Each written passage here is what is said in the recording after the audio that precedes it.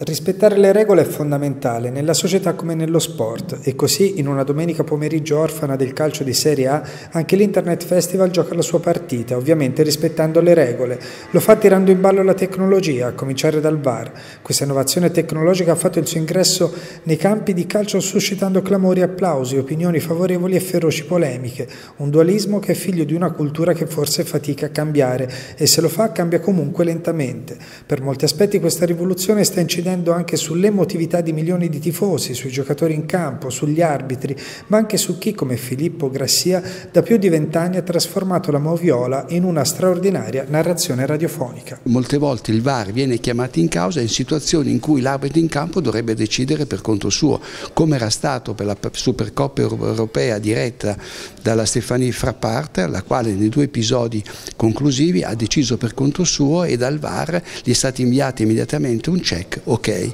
Invece in Italia si perde troppo tempo e il calcio non può sopportare, proprio per quella sua base di passione, di sentimento,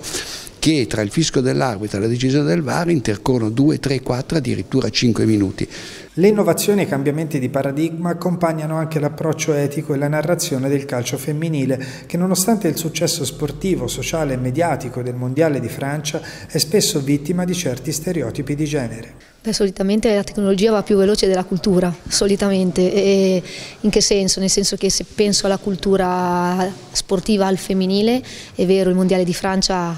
ha dato una nuova impronta, si respira tutti i giorni,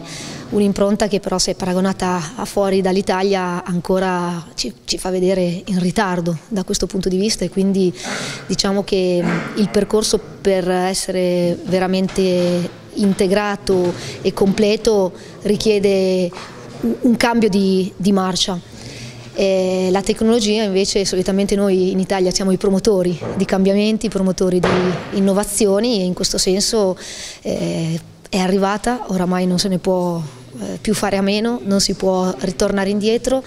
e nell'essere arrivato bisogna sicuramente un po'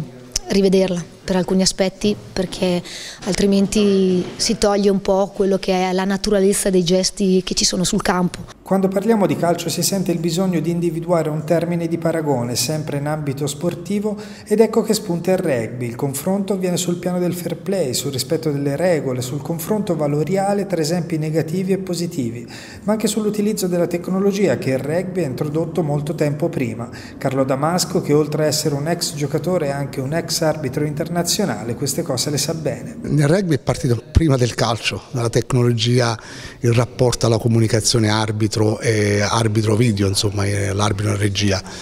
Da noi è estremamente importante, estremamente importante, ha aiutato tantissimo, ha ridotto un impatto elevatissimo l'incidenza dell'errore, quindi i tantissimi mezzi a disposizione aiutano certamente la decisione finale che poi più corretta sia è meglio per tutti insomma.